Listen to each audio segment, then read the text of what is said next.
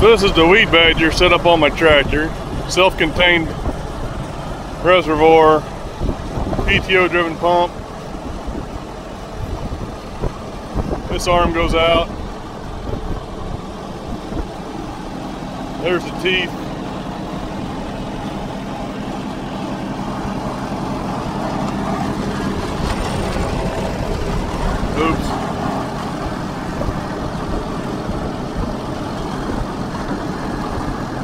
There's the head that articulates out.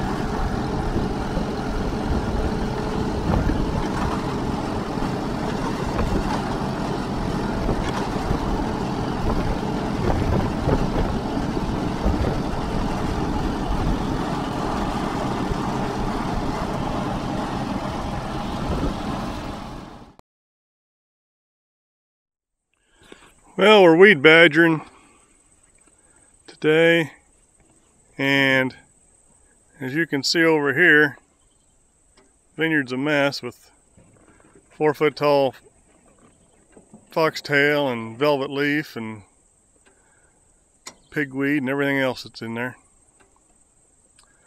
So I finally got the weed badger going, and I'm running in in a counterclockwise direction with heavy duty teeth.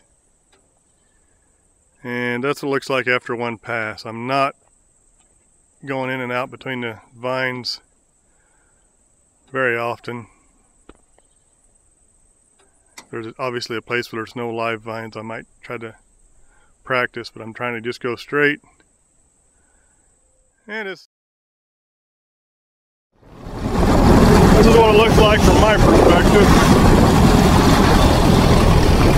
See how close I am over here to this side. Need a smaller tractor. The rule of thumb is if you cannot see the vines, don't articulate the head.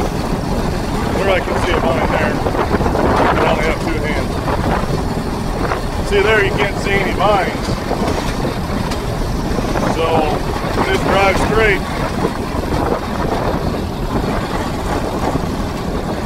this pass, and we'll make another pass after we get everything done. Go in between, where I didn't go in between before. Is getting rid of that outside foot and a half, two foot of crap.